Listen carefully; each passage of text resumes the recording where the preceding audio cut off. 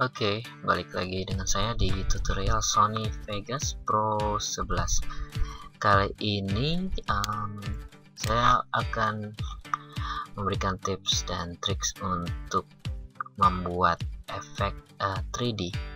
Seperti apa? Saya contohkan dulu 3D untuk teks seperti ini.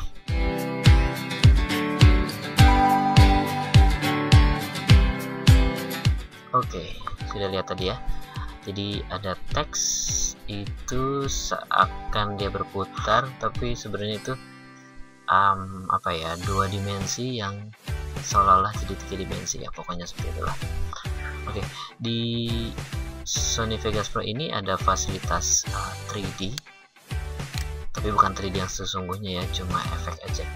Oke langsung aja deh kelamaan. Uh, klik kanan insert video track tiga kali atau Ctrl Shift Q. Kita buat tiga. Tiga track seperti ini. Untuk pertama klik kanan.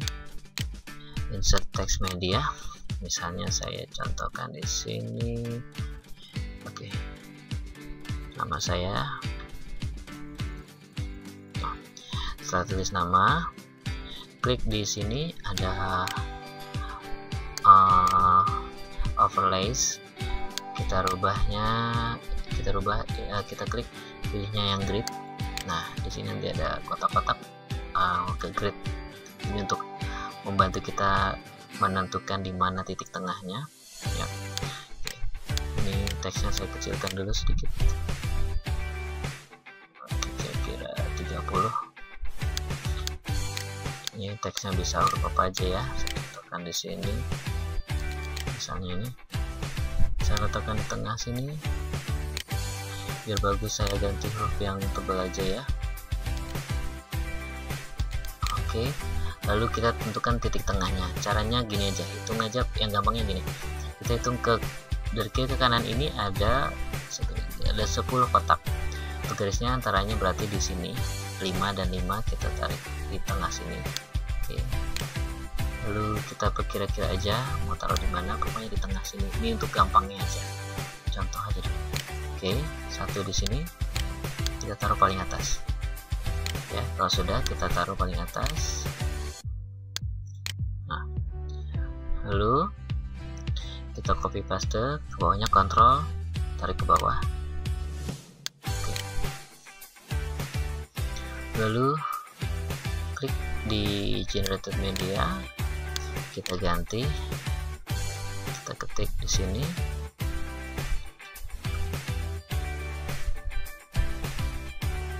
Oke. Lalu klik sini lagi. Sorry kita geser di sini. Kira-kira lagi. Misalnya di sini lah ya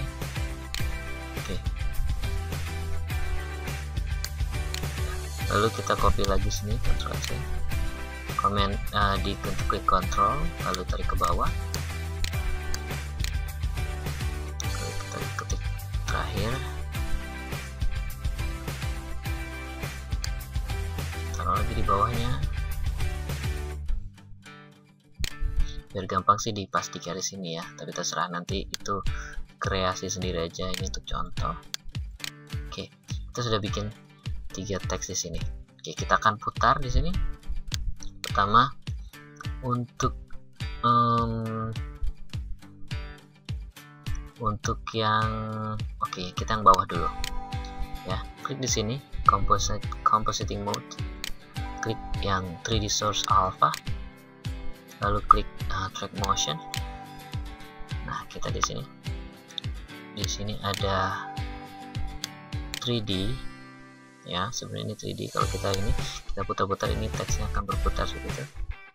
Nah itulah gunanya tadi saya uh, contohkan taruh di tengah biar gampang ya sesuai kebutuhan. Oke saya ulang dulu. Oke setelah itu uh, kita kasih jarak misalnya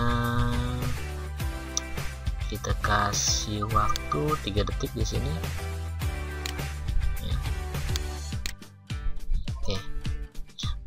di, frame pertama. Kita klik tengahnya dulu nih pas di garis tengah sini. Ya. Berarti lalu kita geser.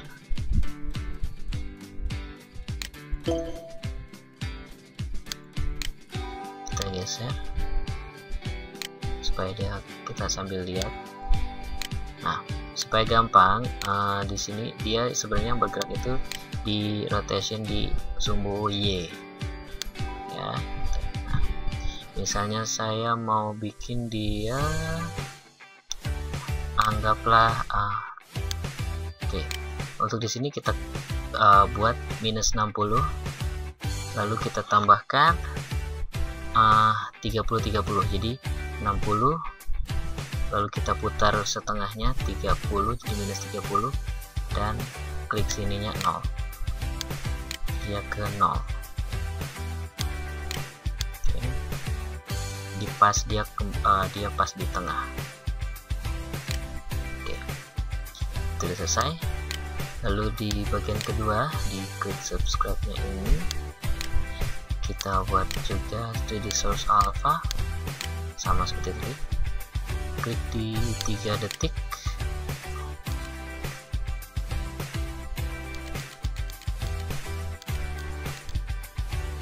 Di detik ketiga geser di sini. Oke detik ketiga itu ada di sini. Oke kita buat di sini. Rotation y nya minus 30 di sininya plus 30 klik 30 aja. Enter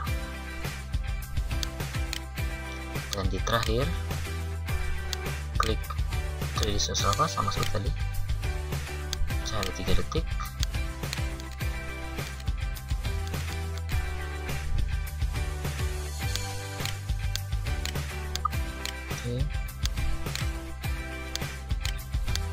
Di sininya 0 rotasi rotationnya y nya y nya 0 dan di sini klik uh, 60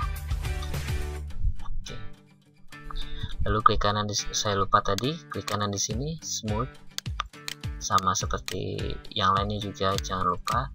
Di bagian depannya klik smooth. Oke, kita lihat hasilnya.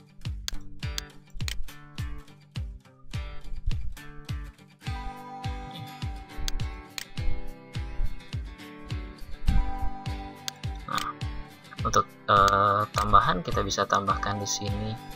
Dia kembali. Misalnya di sininya kita buat di detik ke kelima. Itu kita, kita kurangi 20 misalnya 60 kurang 20 jadi 40 di sini juga. Detik kelima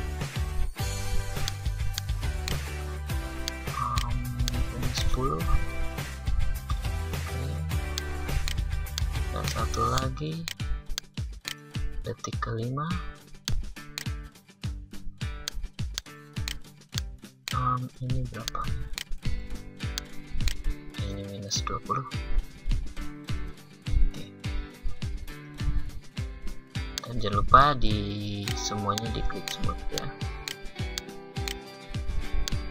supaya pergerakannya halus. Nggak kaku. Oke kita lihat hasilnya. Dia akan kembali sih.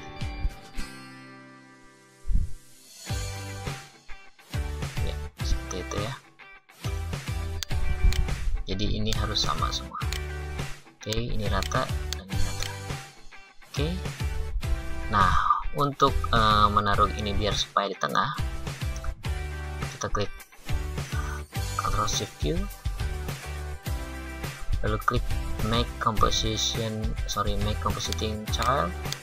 Jadi dia akan mengikuti induknya di sini. Kita klik uh, parent motion. Karena ini sebagai child anaknya dan ini parentnya adalah orang uh, induknya. Kita klik sini.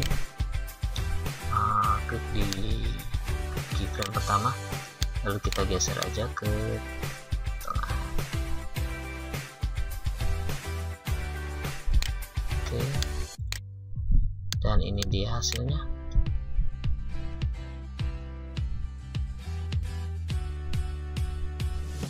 Oke seperti itu ya. Jadi kira-kira seperti itu.